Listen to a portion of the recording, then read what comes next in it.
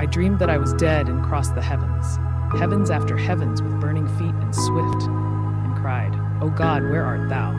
I left one, on earth whose burden I would pray thee lift.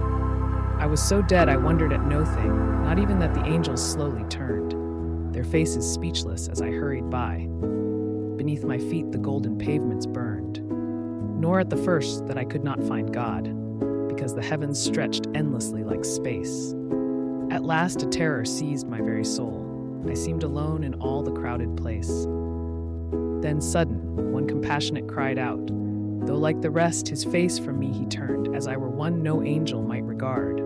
Beneath my feet the golden pavements burned. No moo in heaven than earth will he find God, who does not know his loving mercy swift, but waits the moment consummate and ripe, each burden from each human soul to lift. Though I was dead, I died again for shame. Lonely, to flee from heaven again I turned.